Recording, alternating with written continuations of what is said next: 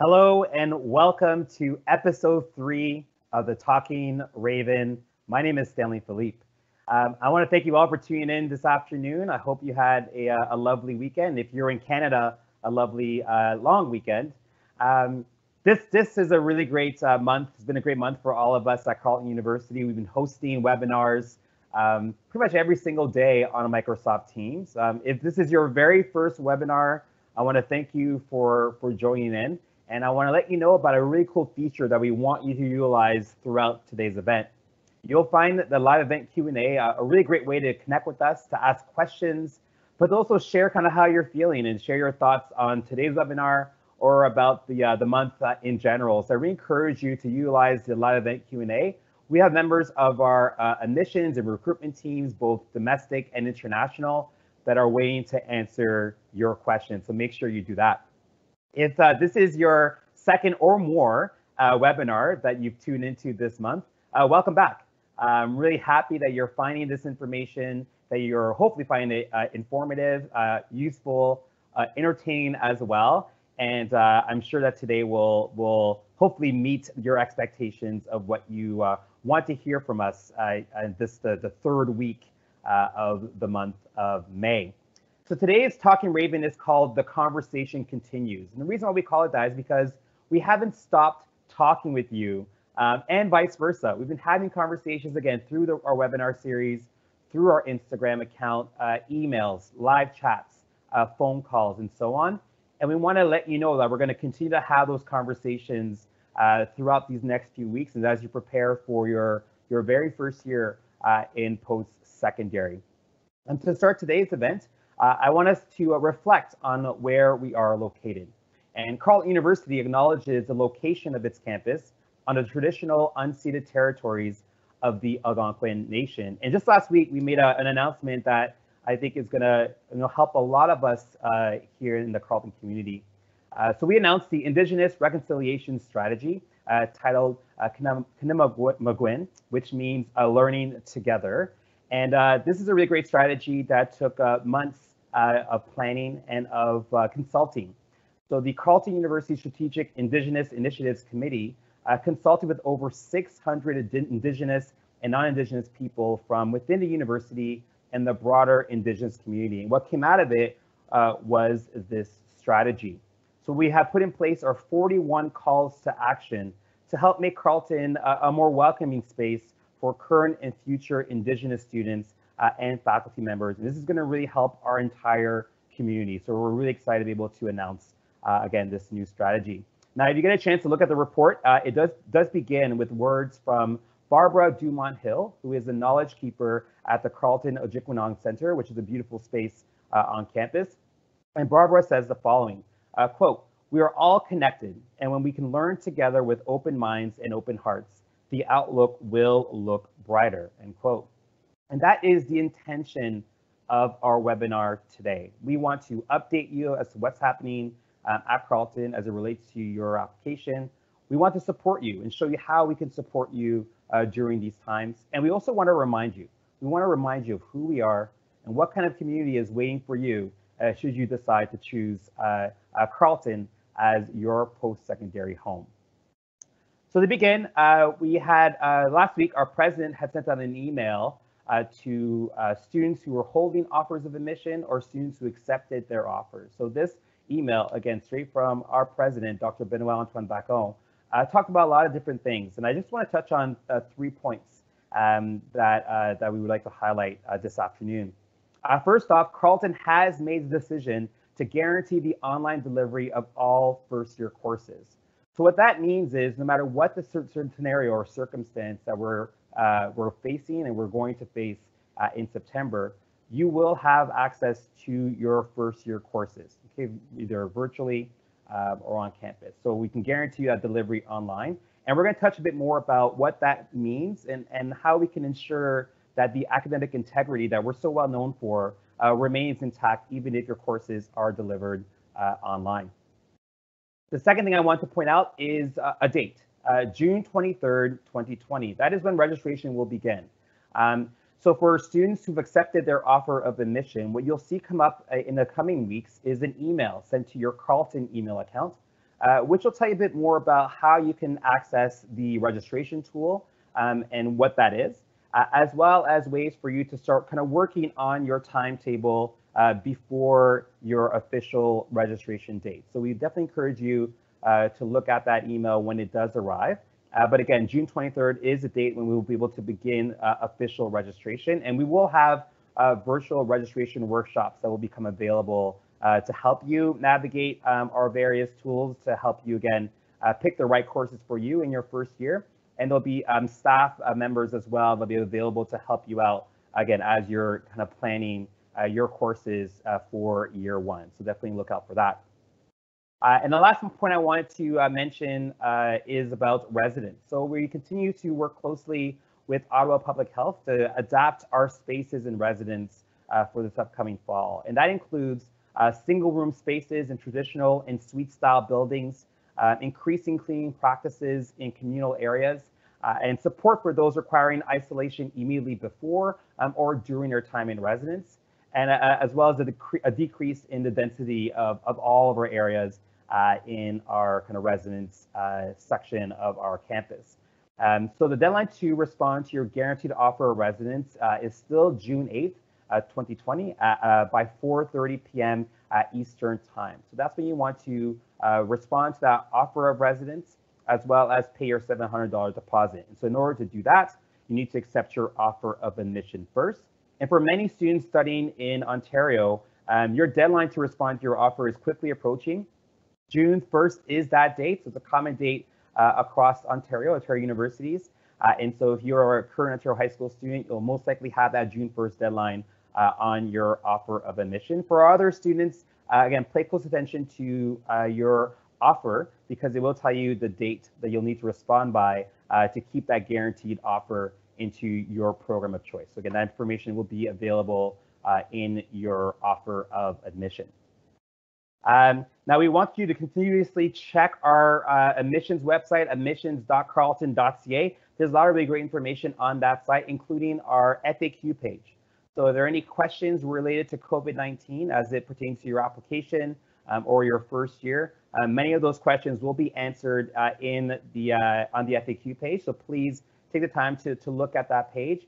We are still chatting with you. Uh, one of the folks that, are, that will be chatting with you this afternoon in our live event Q&A uh, mentioned that uh, the international uh, live chat is uh, is really busy right now, which is great. We're, we're hearing more from our students, both domestic and international, and we want to hear from you. So please utilize that live chat to have those conversations with us online.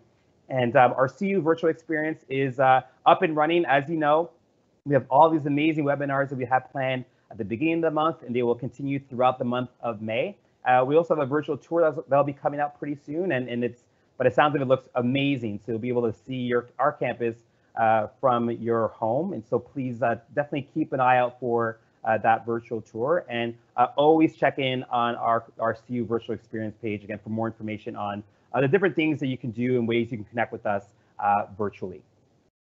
All right, so I alluded to the fact that um, you know our academic experience is something that we really are focused on, and we want to talk a little bit more about what that would mean uh, for um, our students. And and our summer session at Carleton began a couple weeks ago, and we we broke a record. Uh, 13,000 students registered for courses uh, this summer. So that's a, a, pretty big number. Again, the biggest uh, number that we've seen in terms of summer registration. Um, so what that means for you, if you're starting your Carleton journey in the fall, is uh, a couple of things. Uh, first, um, you won't be the first to experience online learning this year. As a matter of fact, we started doing the online uh, courses uh, and examinations in late March or middle to late March.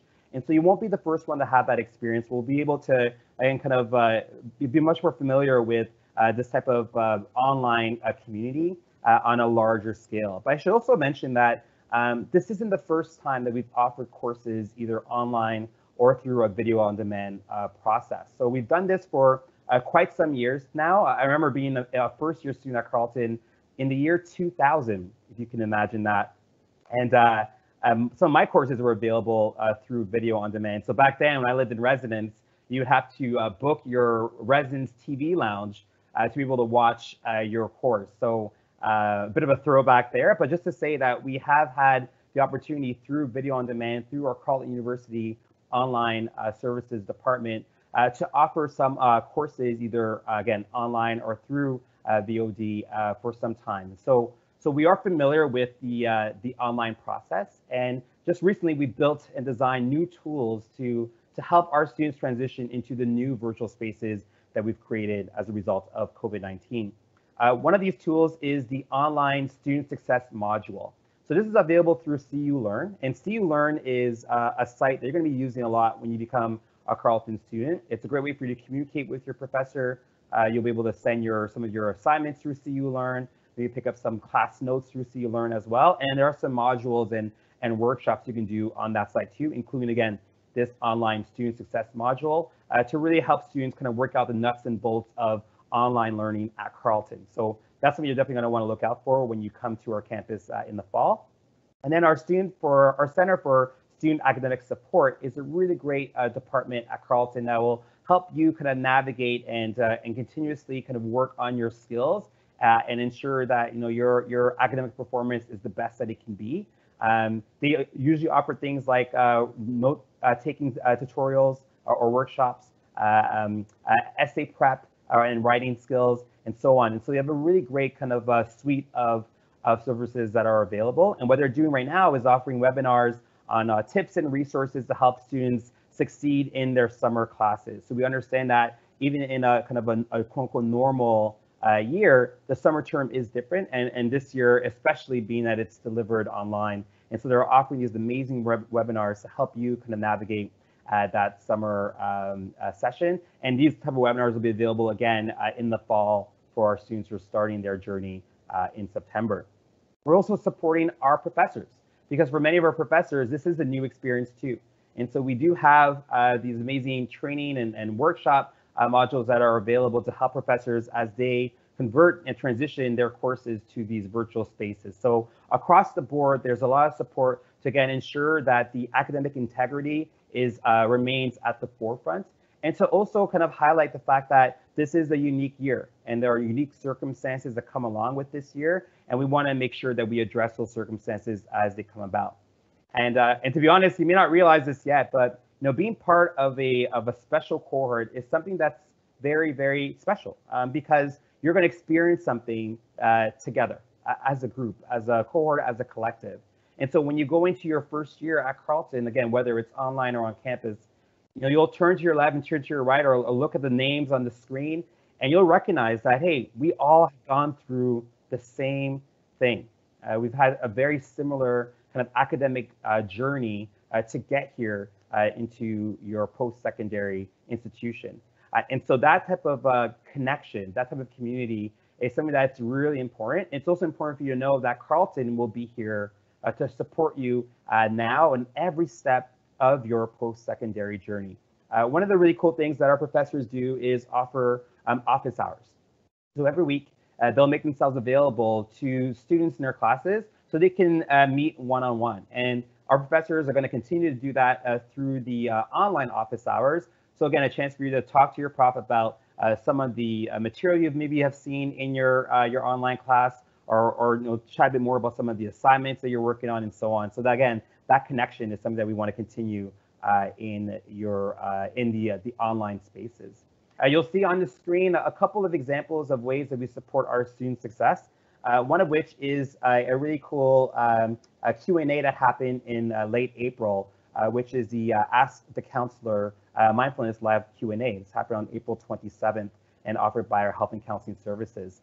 Um, so I want to talk a bit more about, about some of the different services that are available for students who uh, may be uh, needing a bit more uh, mental health support uh, and so on. So uh, one of the things that we do have is uh, Empower Me. It's they're offering free counseling through CUSA, which is the Carleton University Student Association, and they're doing this in collaboration with existing on-campus counseling services. So students can access qualified counselors, consultants, and life coaches by phone or virtually 24 7, 365. So definitely can utilize uh, that resource.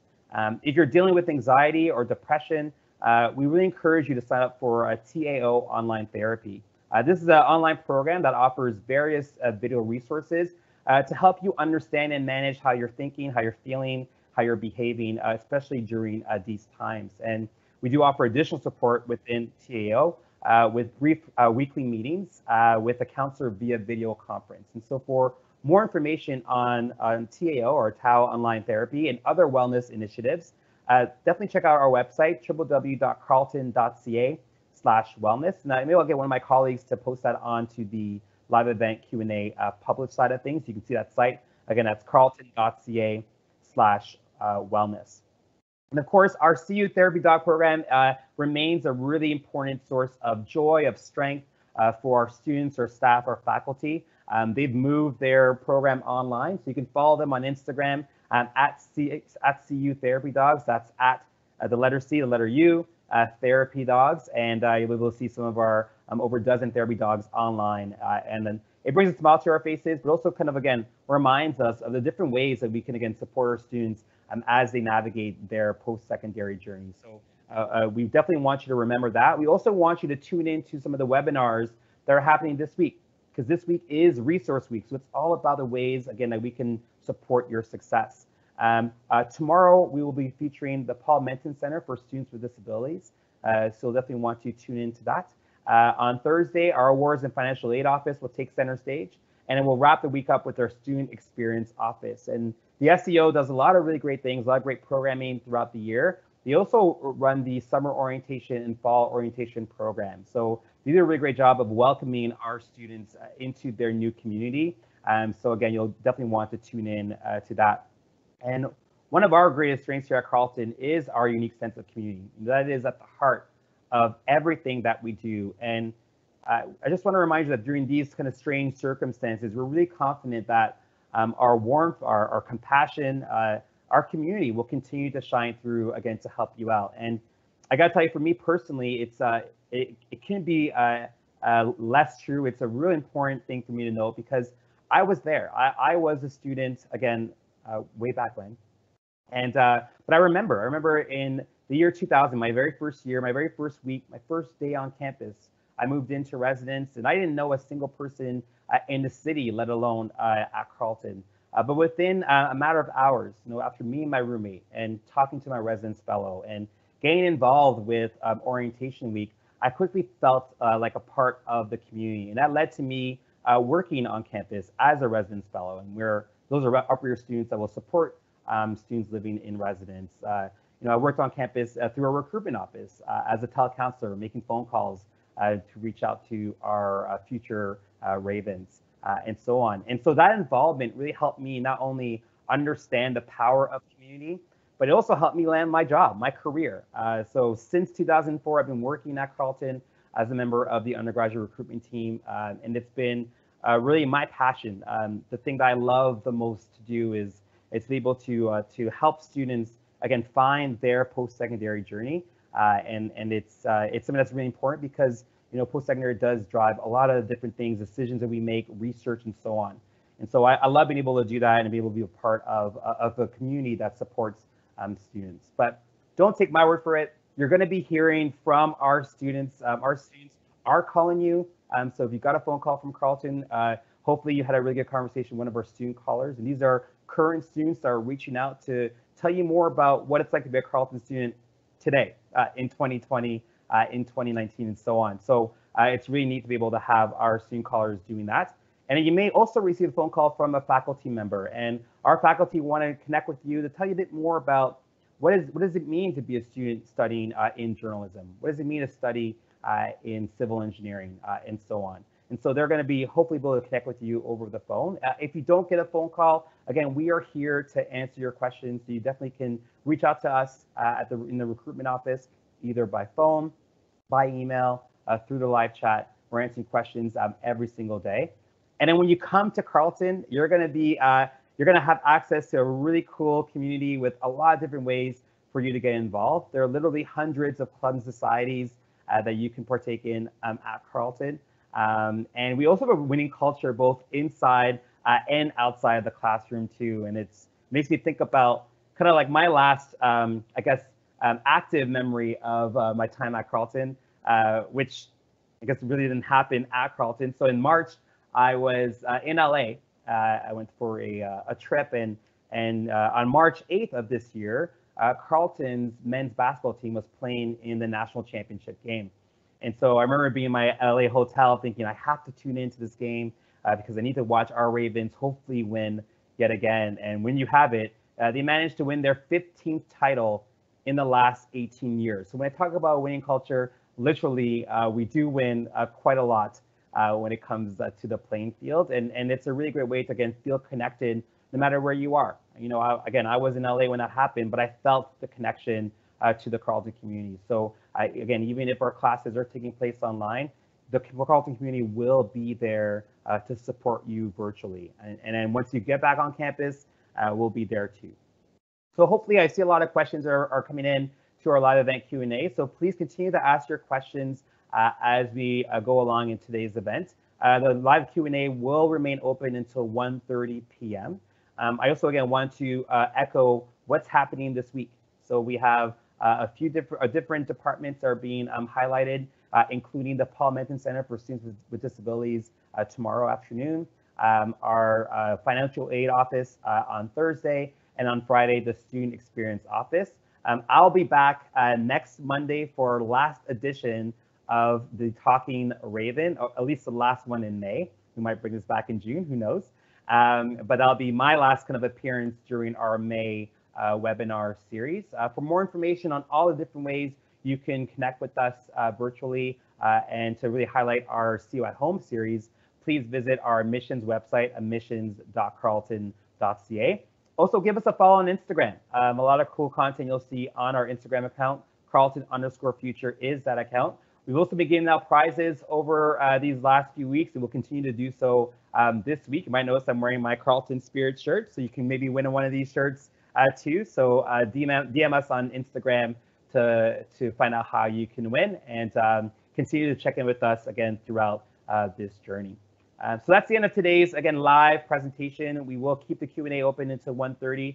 I want to thank you all for tuning in. Uh, this has been the Talking Raven. My name is Stanley Philippe, and we will see you soon.